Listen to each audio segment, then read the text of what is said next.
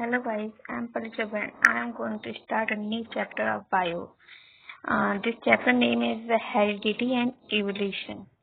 Topics in the, this chapter is this. Today I will explain this topic. Introduction. Genetics deals with the study of heredity and variation.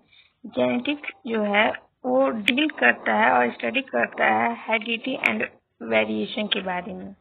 The transmission of character और trait from one generation to the next generation is called heredity जब कोई भी character हुआ character और trait एक ही होता है तो कोई भी कैरेक्टर हुआ, अगर पेरेंट्स से वो ऑप्टिंग में जा रहा है तो उसे हम लोग हेरिडिटी बोलते हैं।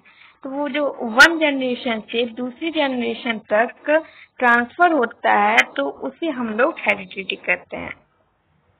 The differences in the character trait between the parent and offspring is called variation और जो उन लोग की मतलब जैसे कि हम लोग उसे मतलब अगर लेडीज़ जो मेल्स फीमेल्स होती हैं, जब वो प्रेग्नेंट होती हैं तो उसमें कुछ वेरिएशन होते हैं। जैसे हम लोग में ह्यूमन बींग में नाइन मंथ का होता है तो जो वेरिएशन होती हैं तो उसकी जो ऑफस्प्रिंग में कैरेक्टर्स जाती हैं तो उसे मतलब जो कैरेक्टर जा रहे तो उसमें जो वो गिवन टाइम होता है नाइन मंथ का, उसे हम लोग वेरिएशन कहते हैं।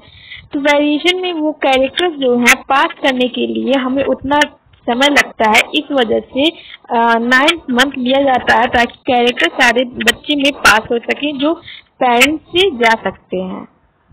Types of variation variation are of two types variation दो टाइप्स के होते हैं somatic variation and gametic variation somatic variation it takes place in the body cell somatic variation जो है, वो बॉडी सेल में मतलब प्रेजेंट होता है. इट इज़ नाइडर इनहेरिटेड और नॉट ट्रांसमिटेड और ये सोमैटिक वेरिएशन जो होता है नॉट वो इनहेरिटेड होता है और ना ही वो ट्रांसफ़र होता है। मतलब ऑफिंग में वो नहीं जाता है। It is also known as acquire trait इसको हम लोग एक्वायर्ड ट्रेड भी बोलते हैं। एक्वायर्ड ट्रेड वो होता है जैसे कि अगर हम लोग साइकिल सीखे हैं स्विमिंग सीखे हैं तो ये ज़रूरी नहीं है कि वो बच्चे में भी चला जाए कि मतलब वो भी स्विमिंग सीखा हुआ मतलब पैदा हो और साइकिल सीखा हुआ पैदा हो। तो ट्रेड वही होता है कि जिसमें हम लोग फिजिकली जो वर्क करते हैं वो बच्चे में नहीं जाती है। जो हम लोग की जेनेटिक मतलब आ, हम लोग जेनेटिकली जो वर्क करते हैं वो बच्चे में जाती है। जैसे कि हेयर कलर जा सकता है आई कलर जा सकता है। तो एक्वायर्ड जो होता है वो जैसे कि स्विमिंग हो सकता है स्विमिंग बच्चा बचपन से सीखा हुआ नहीं आ सकता। है examples cutting of tails in dogs boring of pinna etcetera gametic variation takes place in the gamete reproductive cells और गैमेटिक वेरिएशन जो होता है गैमेट से मतलब निकलता है, जो कि रिप्रोडक्टिव सेल्स में जाता है। Inherited as well as transmitted इसमें जो है इनहेरिटेड जो होता है, वो मतलब ट्रांसफ़र होता है। ऑल्सो नोन एज इनहेरिटेटेड और इसको हम लोग इनहेरिटेटेड भी बोलते हैं। एग्ज़ाम्पल ह्यूमन हाइट मतलब हाइट भी जा सकता है, अपने मतलब पिता का हाइट मतलब अगर मान लीजिए है, या मदर का भी हाइट है तो वो बच्चे में जा सकता है। स्किन कलर भी जा सकता है कि अगर माँ गोरी है या बाप गोरा है तो उसका भी कलर बच्चे में जा सकता है। तो उसे हम लोग, जैसे जो हम लोग की जेनेटिक से होता है, उसे हम लोग, वो पास होता है तो उसे हम लोग जेनेटिक वेरिएशन बोलते हैं।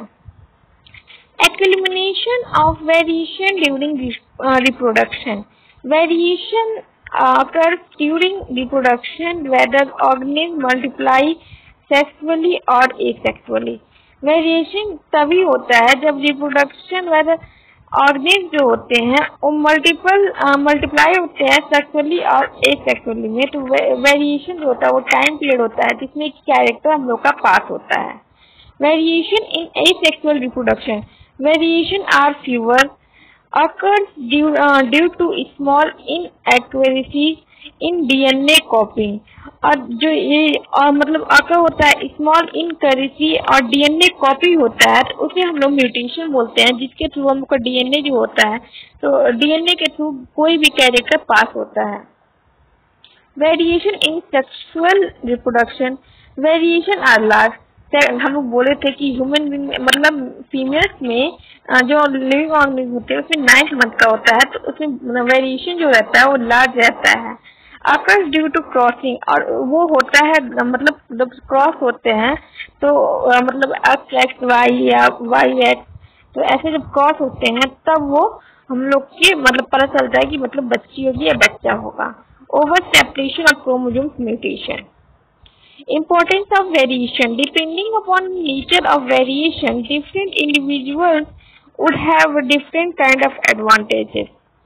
मतलब ये जो नेचर होता है, वो वेरिएशन पे डिपेंड करता है। डिफरेंट इंडिविजुअल जो होते हैं, वो डिफरेंट काइंड ऑफ़ एडवांटेजेस भी होते हैं।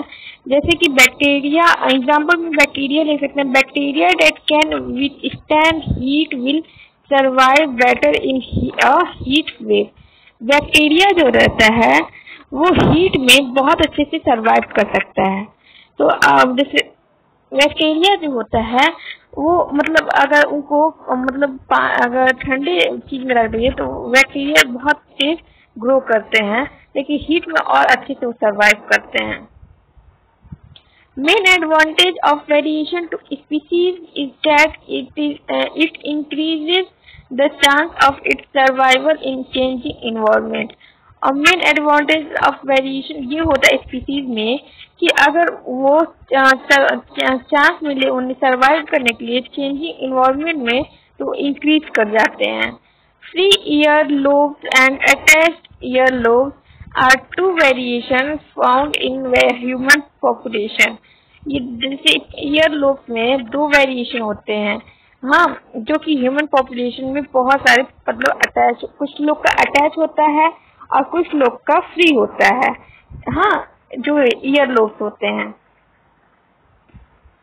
Mendel and his work on inheritance Gregor John Mendel 1822 two 1884 started his experiment जो ग्रिगोर जॉन मेंडल थे, वो स्टार्ट किए अपना एक्सपेरिमेंट 1822 से 1884 तक।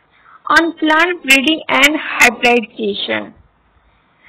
He proposed the laws of inheritance in living organisms और उन्होंने उन्होंने प्रपोज किया लॉ ऑफ़ इनहेरिटेंस और in living organism Mendel was known as father of genetics और मेंडल को हम लोग फादर ऑफ़ जेनेटिक्स भी बोलते हैं। Plant selected by Mendel Pisum sativum Piscium sativum is the scientific name of pea. He uh, he used a number of contrasting character for garden pea और उन्होंने बहुत सारे पी को कॉन्ट्रेस्ट यानी कि उनको मिलाया और कॉन्ट्रेस्टिंग करके उनके कैरेक्टर को मिला के उन्होंने एक्सपेरिमेंट किया। Seven pair of contrasting characters in garden pea character trait देखिए डोमिनेंट मिक्स होता है बता हाँ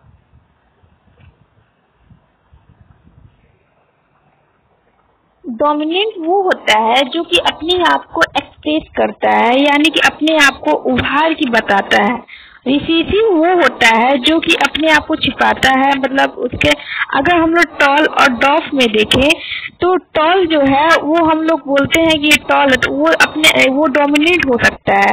और रिसीसिव में हम हो सकता है डॉफ क्योंकि वो छोटा है तो वो अपने आप को मतलब एक्सप्रेस नहीं कर पा रहा है। Flower violet in dominate and in recessive white flower position axial in dominant and terminal in recessive. Seed color yellow in dominant and recessive in green. Uh, seed shape round in dominant and wrinkled in recessive. Pod shape inflated uh, in dominant and uh, constricted in recessive. Pod color green in uh, dominant and yellow in uh, recessive. Height of plant tall in dominant and dwarf in uh, निशेषियों Mendel experimental material he choose garden pea Pisum sativum as the his experiment material because of जैसे उन्होंने मतलब इसलिए P को choose किया मतलब P का मतलब वो साइंटिफिक नेम होता है पीशियम शटाइवम तो उन्होंने पी को इस वजह से चूज़ किया ability of detectable contrasting traits of several character क्योंकि उनके अंदर पी के अंदर बहुत सारे ही कैरेक्टर कभी कोई रिंकल्ड होता था, कोई राउंड होता था, कोई येलो होता था तो इस वजह से उन्होंने जब कैरेक्टर देखा तो उन्होंने सोचा कि मैं पी को ही लूँगा। और पी को उन्होंने चूज़ करके और उसका एक्सपेरिमेंट किया। Short life span of the plant और वो जो पी होता है, उसका शॉर्ट लाइफ होता है, यानी कि बहुत ही कम समय के लिए वो होता है। नॉर्मली अलाउ सेल्फ फर्टिलाइजेशन और ये सेल्फ फर्टिलाइजेशन से होते हैं but cross fertilisation can also be carried out और इससे, ये जैसे नॉर्मली ये सेल्फ फर्टिलाइजेशन से होते हैं, लेकिन ये क्रॉस फर्टिलाइजेशन से भी हो सकते हैं। Large number of seeds produce और इससे बहुत सारे लार्ज नंबर के सीड्स जो होते हैं, वो प्रोड्यूस होते हैं। Mendel experiment Mendel conducted a series of experiment Mendel ने बहुत सारे सीरीज़ के एक्सपेरिमेंट किए in which he cross the pollinated plant और उन्होंने क्रॉस किया पॉलिनेटेड प्लांट को टू स्टडी वन कैरेक्टर और उन्होंने स्टडी किया वन कैरेक्टर को at a time.